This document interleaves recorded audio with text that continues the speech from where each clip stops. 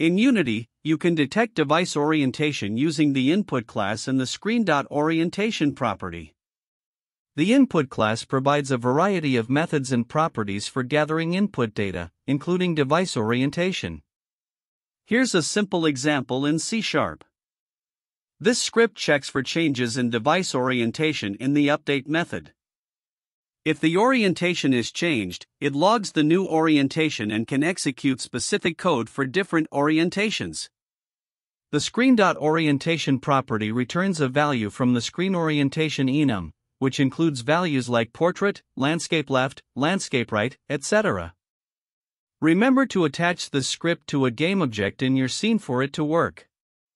Additionally, ensure that your game is set up to support different screen orientations in the Unity player settings. Keep in mind that certain platforms may handle device orientation differently, and you may need to consider platform specific implementations or additional settings for optimal behavior on various devices. You can find the code from the link in description below. Please subscribe, like, comment and share my channel to support me. Thanks for watching.